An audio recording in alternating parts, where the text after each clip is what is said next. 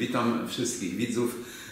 Byłem rzeczywiście kurierem Giedroycia, a pływałem 3 lata dłużej niż kapitan Titanica i nikogo nie utopiłem. A ponieważ cieszę się dobrą kondycją, więc jeszcze swą aktywność od 2002 roku kontynuuję do dziś.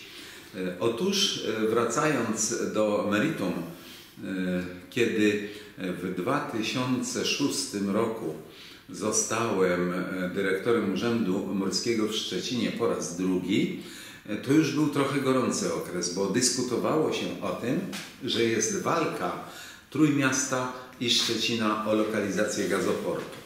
Szczecińscy naukowcy przygotowali taki projekt y, gazoportu nabrzeża wystającego w morze, przykrytego takim daszkiem.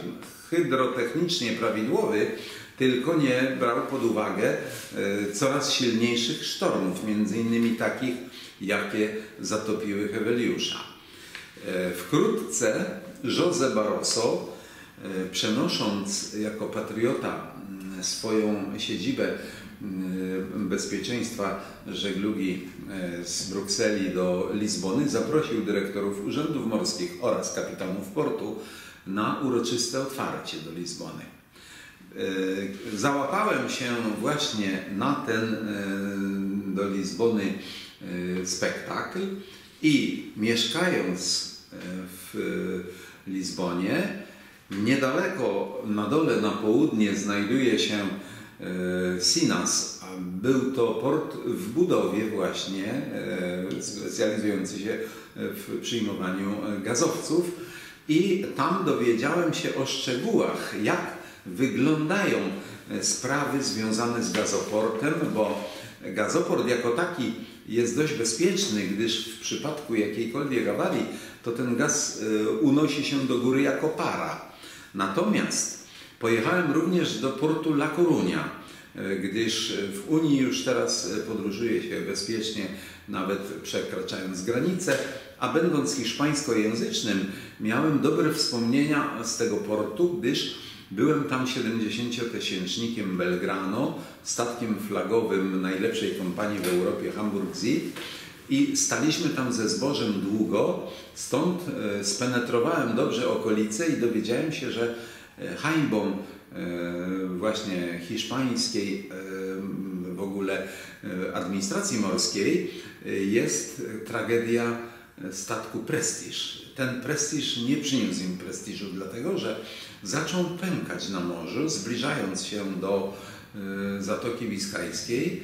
Kapitan poprosił o wejście do hiszpańskiego portu i nie zgodzono się na przycumowanie w La Corunie, ani w El Ferrol del Caudillo, taką szumną nazwę na rzece, ma pobliski głębokowodny port.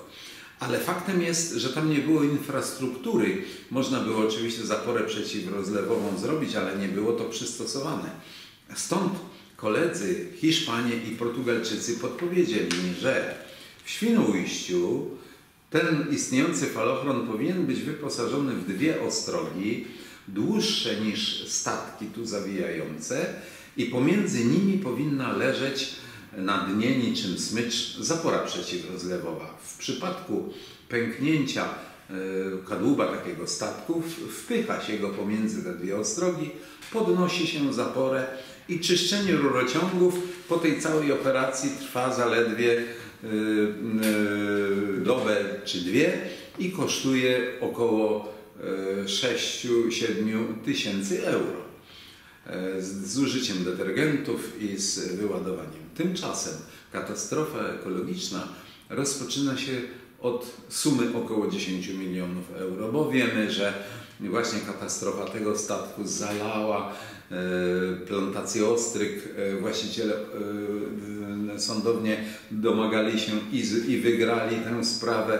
Exxon Valdez statek uderzył na Alasce e, i e, też e, ropą zanieczyścił bardzo czyste miejsca i to jest powszechnie znane. Tu jeszcze chciałbym powiedzieć pewien drobiazg, że w dyskusjach od wielu lat, jak wyglądają kilometrówki, jak wyglądają rachunki za pobyty E, więc tam Portugalczycy, korzystając z tej okazji, zrobili po prostu taki chwyt, że podnieśli ceny na hotele będące w pobliżu tej sali konferencyjnej.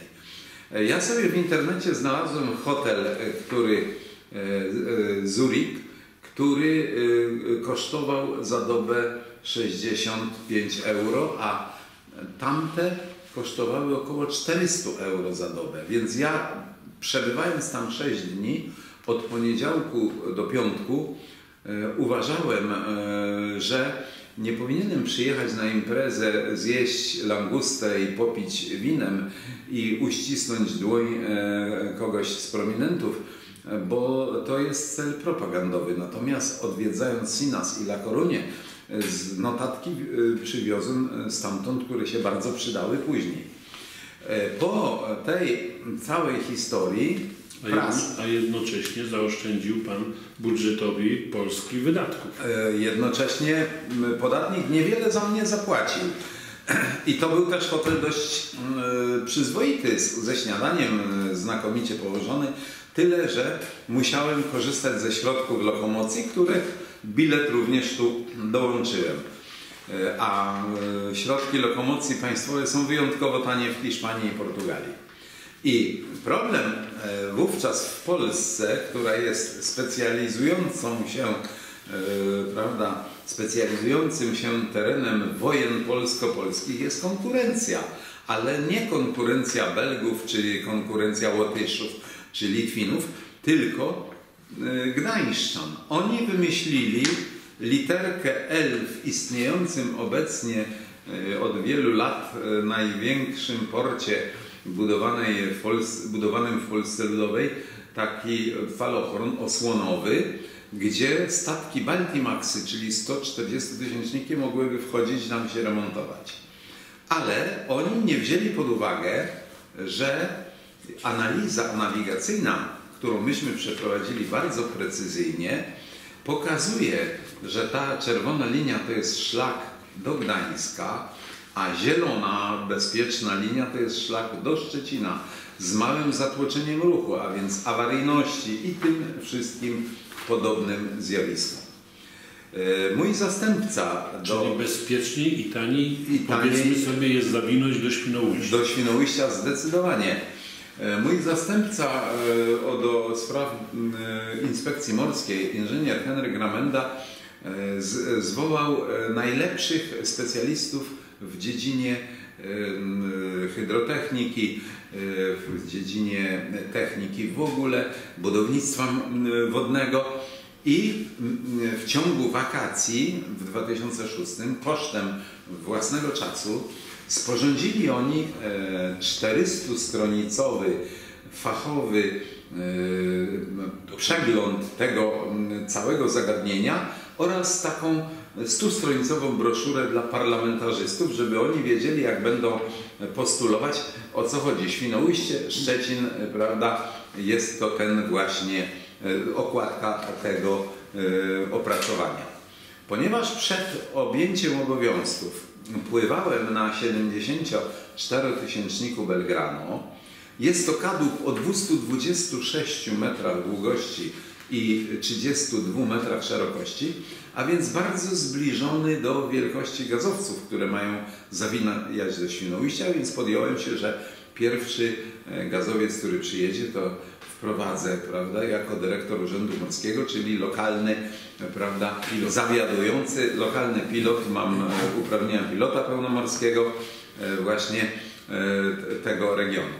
No niestety nie udało mi się doczekać, ponieważ minister z Ligi Polskich Rodzin, e, który wkrótce objął resort, e, to zajmował się głównie obsadzaniem swoimi ludźmi stanowisk e, o najwyższej płatności, a więc dyrektorskich. Najpierw dał mi dyrektora technicznego. Dał mi dyrektora technicznego pod pretekstem, że poprzedni użył zbyt kosztownego kamienia do mm, cembrowiny, że tak nazwać, kanału Piastowskiego i podatnik e, zapłacił za to wyższą cenę, około 11 milionów złotych polskich. Okazuje się, że ten jego e, dyrektor techniczny, którego on mi przydzielił, jest wprawdzie po studiach morskich, ale w tym kryzysie zajmował się handlem pończochami, więc nie bardzo orientował się, co to jest larsen, co to jest ścianka szczelna. No, zapewne mógł wiedzieć, co to jest falochron. I na stanowisku dyrektora technicznego w zasadzie oprócz mnie pytał o wszystko naczelników. E, dyrektor e, techniczny był również długim uchem ministra i minister, jako mieszkaniec Szczecina, co tydzień dostawał raporty, co się dzieje w Szczecinie, w Urzędzie Morskim przede wszystkim.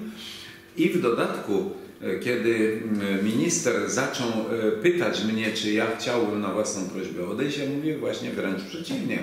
Chcę tu zostać, ponieważ już drugi raz jestem dyrektorem Urzędu Morskiego, bo półtora roku w 93 i 4 byłem, a więc znam specyfikę tego portu. On słuchał mnie w roztargnieniu, no ale w jesieni była właśnie oprócz tej wizyty e, wczesną jesienią e, w Lizbonie e, była, była rocznica okrągła bo od 1946 roku istnieje Urząd Morski, już były wydrukowane książki z moim wstępem i zdjęciem, więc e,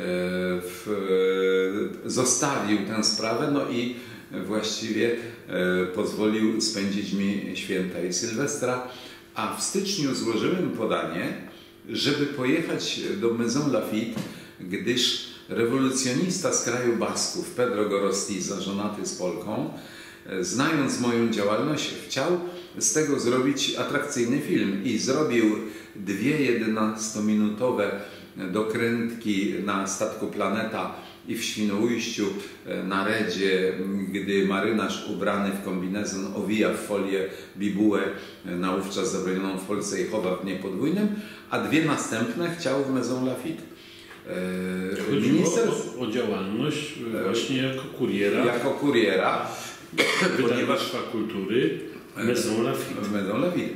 A 26 lat przemytu kultury bez wpadki, kiedy wszyscy przemytnicy wpadali po dwóch, trzech e, razach, z naiwności oczywiście i z braku ostrożności, bo prawo polskie komunistyczne było oficjalnie bardzo demokratyczne, ale przecież tępiono szczególnie e, wolne słowo. Więc e, to po prostu E, nie wypadało mu wprost zabrać, e, zająć innego stanowiska, więc czekał i e, na dzień przed rozpoczęciem tego filmu w sobotę przywiózł mi do mm, wypowiedzenie do Szczecina. Jego ten zastępca, który był dyrektorem technicznym, wyciął żyletką z pieczątki moje nazwisko, żebym jakieś decyzje jeszcze w niedzielę nie podjął, nie awansował kogoś. To taki fajny folklor. A nowy dyrektor zaproponował mi, że rano o 5.30 przyślę e, służbową taksówkę, bo ludzie jeszcze nie wiedzą w poniedziałek o moim odejściu, żeby mnie na lotnisko do Goleniowa zawieźli. Oczywiście ja z tego zrezygnowałem, ale nawet się nie odwoływałem. To był koniec stycznia już E, koalicja się chwiała. Z kolei e, w pewnym sensie zachowano jeszcze minimum takiej formalności, bo zmienił mnie starszy mechanik, który wrócił z budowy, z nadzoru na budowę statku w Chinach.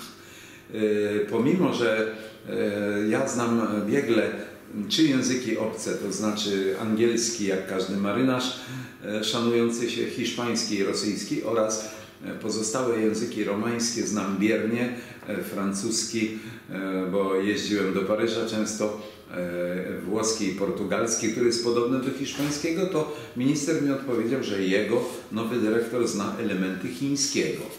No, z rozmowy wywnioskowałem, że być może wie, kto to był Mao Tse-tung i aktualny prezydent, ale w tak rozstaliśmy się trochę żartobliwie, dlatego że mm, ja powiedziałem, oni się zdziwili, że y, ja się nie zdenerwowałem, a nawet nie odwołuję się. Powiedziałem, że zdenerwowałem się, gdyby w pobliżu wybuchła bomba atomowa, a poza tym pan minister płaci mi tutaj 5600 na rękę przy 7 tysiącach brutto, a ja jako doświadczony kapitan na tychże statkach e, zbożowych otrzymywałem 5600 euro, więc zastanówmy się, kto komu robi grzeczność. To oczywiście bardzo pana ministra zadziwiło, ale to wypowiedzenie z pracy ja sobie zachowałem i również zachowałem sobie listę ekspertów, którzy byli powołani do właśnie oceny przydatności naszego regionu na prawda, ten gazoport, bo to się po prostu liczy. Natomiast oprócz fachowości, mój dorobek w postaci trzech podręczników akademickich oraz sześciu poczytnych książek, z których opowieści nawigacyjne dostały nagrodę Konrada, zupełnie się dla pana ministra nie liczył. On tych spraw słuchał w roztargnieniu. Prasa, publikując, kto zdobył gazoport, podawała. Joachim Brudziński w istocie był tym, który jako patriota lokalny i równocześnie poseł działał, aby to był Szczecin. Dyrektor Catewicz, dyrektor zarządu portu, był zainteresowany żywotnie, bo to jest w jego obrębie.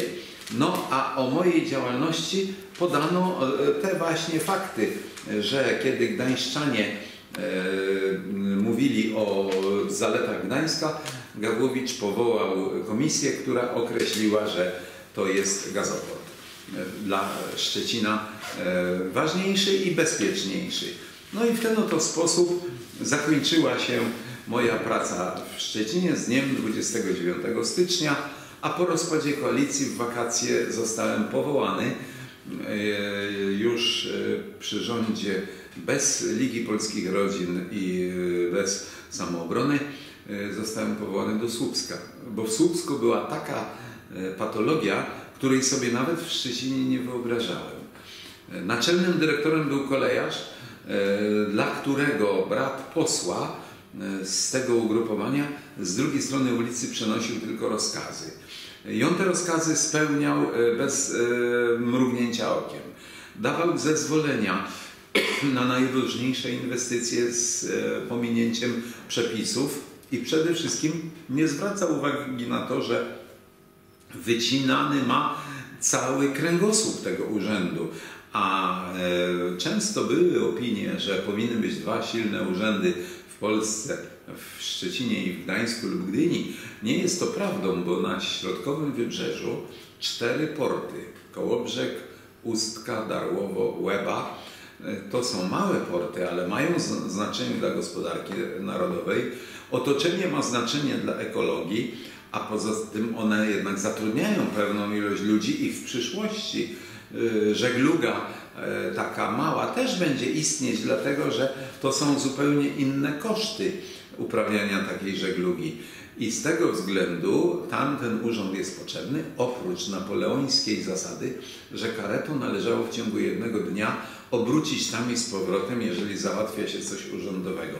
A więc ze Słupska do, na inspekcję do koło brzegu można było samochodem obrócić tam i z powrotem i na drugi kraniec do księstwa Łeby. Mówię księstwa, bo tam miało być księstwo walutę, łebki już próbowali drukować, ale jak to zwykle pokłócili się i to księstwo nie powstało.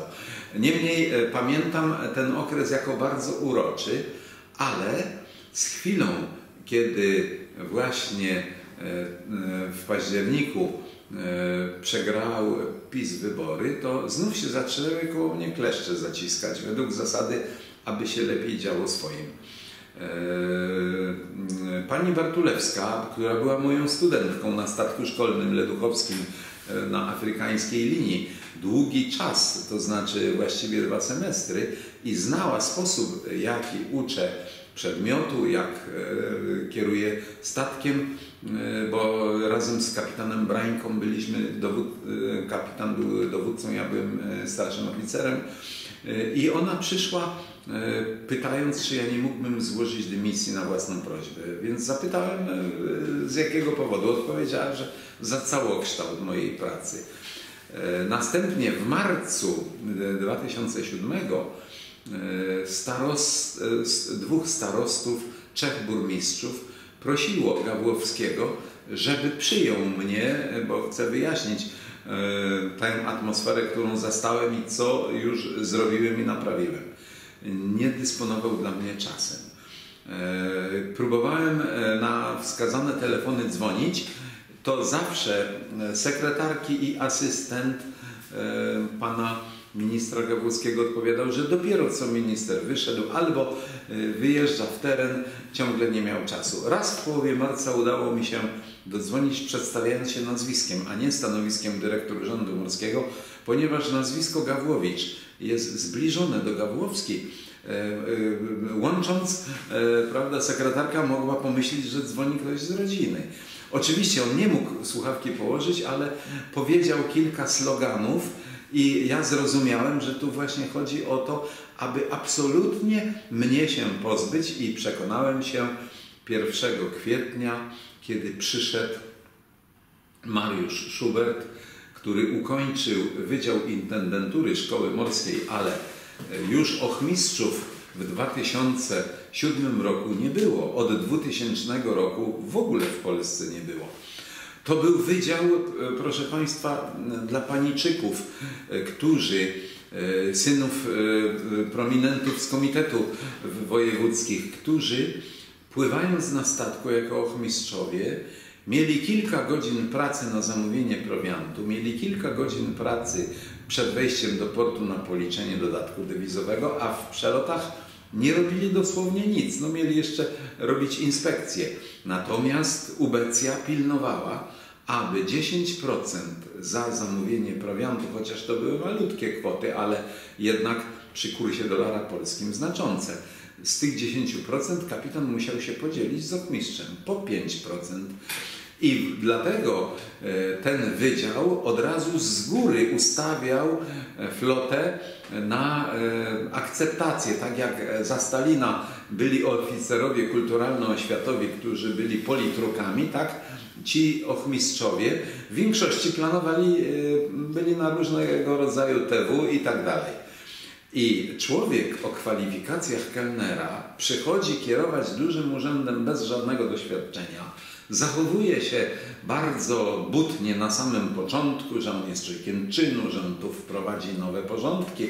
Więc ja przypomniałem mu, że yy, polski dyrektor rzeczywiście tak robi, że od dzisiaj yy, prawda, z, będą nowe porządki. Angielski mówił inaczej, że od jutra nic się nie zmieni, bo jest to pewna różnica w, w dowodzeniu. I kiedy odszedłem 1 kwietnia, to jeszcze przekazywano mi, że jako dusza artysty, ponieważ zajmuję się pisaniem, to potraktuję to jako prima aprilis i ja się nie załamię. Ale powiedziałem to samo, co ministrowi Wiecheckiemu, że ja odszedłem z floty i mam e, e, wszystkie certyfikaty ważne, bo w ciągu pięciu lat kapitan musi rok czasu pływać, żeby utrzymać swój status. Dopiero później przechodzi w stan spoczynku. A zszedłem po prostu, e, obejmując urząd morski w Szczecinie ze statku, z dużego statku Etnos, no niejako bliźniaka tego Belgranu. E, oczywiście e, dowiedziałem się później, że pan Mariusz porozstawiał po kątach część ludzi, a najważniejsze, że wynają na swoją żonę, która miała inne nazwisko, e, statki wycieczkowe wędkarzom na łowienie dorsza, bardzo potrzebnego. Bilet kosztował na tę przyjemność 150 zł i pan dyrektor zamiast zajmować się urzędem, zajmował się akwizycją biletów na te statki wędkarskie. Wkrótce potem drugi statek do tego dołączył.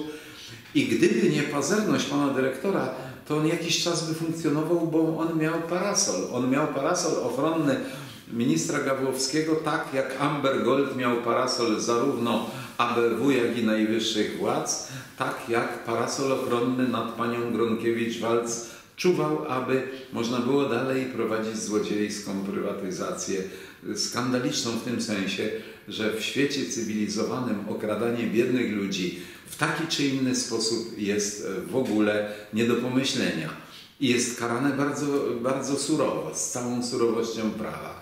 I teraz e, tu okazuje się, że pan Mariusz e, chciał odebrać latarnikom te bileciki po 3 złote, żeby turysta z głębi lądu wchodzący własnymi stopami po tych stu kilkudziesięciu stopniach na szczyt zapłacił to do kasy kontrolowanej przez dyrektora, a nie latarnikom, którzy zresztą ten pomysł sobie tam wykreowali. Wynajęli więc prywatnego detektywa, który to wszystko przebadał, który również zgłosił się do pana dyrektora jako klient. Pan dyrektor mu też zaznaczył, że on się umie podzielić i tak dalej. I kiedy ta sprawa dojrzała, to ten parasol e, trwał nieprawdopodobnie długo, bo dwa lata i trzy miesiące. Dopiero w lipcu 2010 odwołano pana dyrektora Schuberta, Mariusza, i jeszcze za pieniądze podatnika, nie mając wstydu, odpoczął na e, lekarskim zwolnieniu psychiatrycznym, bo był rzeczywiście tą sytuacją być może bardzo zmęczony. E, bardzo ważną sprawą e, w pełnieniu funkcji publicznych jest też zarówno kodeks honorowy, jak i przestrzeganie rzeczywiście litery prawa. Urzędy morskie mają pas techniczny, w którym nie wolno żadnej trwałej budowli zrobić bez specjalnego przygotowania, bez badań, bez wpływu na ochronę środowiska, a przede wszystkim nie wolno naruszać struktury. Otóż y, pan dyrektor Urzędu Słupskiego Urzędu Morskiego, mając znów ten parasol ochronny, przekazał swojemu koledze, burmistrzowi Darłowa, z Darłowa wspomniałem pochodzi zarówno pan poseł e, Gawłowski, jak i pan e, Mariusz, jak również burmistrz. Przekazał mu grunt w pasie technicznym w, przy samym e, brzegu morskim, który ten z kolei, oczywiście nieodpłatnie, to była taka umowa, której szczegółów nie znamy, a ten z kolei przekazał ją deweloperowi belgijskiemu, a plan zagospodarowania przestrzennego przewidywał budowlę piętrową. E, zresztą tak jak jest we wszystkich małych portach Europy, że na dole są te urocze kawiarenki, a na pierwszym piętrze są ewentualnie sypialnie dla wczasowiczów. Tymczasem stoi już tam dzisiaj siedmiopiętrowy, siedmiokondygnacyjny wieżowiec i co najciekawsze zasłania latarnię morską. Lekceważąc e, zwyczaje również światowe, latarnia morska ma wskazywać drogę żeglarzom. W starych locjach angielskich pisze For a thousand years was only a few tower along the coast of England in which the wooden fire was kept by night to show the sailors the way że od tysięcy lat było kilka latarni wzdłuż wybrzeży Wielkiej Brytanii, w której ogień palących się drew był podtrzymywany nocą, aby pokazywać drogę żeglarzom. Zasłonięcie tej e, właśnie tej latarni morskiej jest o tyle też skandalem, że były projekty rozebrania tej latarni i przeniesienia jej w inne miejsce. Po pierwsze, ona wówczas przestanie być zabytkiem, a po drugie przestanie pełnić swoją rolę. Ona jest w locjach e, zaznaczona, w locjach i z, e, przybysz z dowolnego krańca świata w locji przeczyta, że latarnia ma taką i taką szerokość geograficzną w stopniach i minutach kątowych i taką i taką długość e, geograficzną w stopniach i minutach kątowych.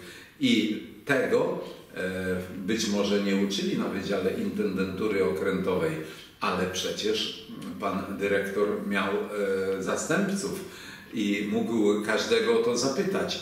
I ta decyzja moim zdaniem jest ogromną plamą na honorze i ona jest właściwie nie do wybaczenia. Dlatego e, on musiał odejść, bo to już było zbyt głośne i nawet ten parasol ochronny nie wystarczał.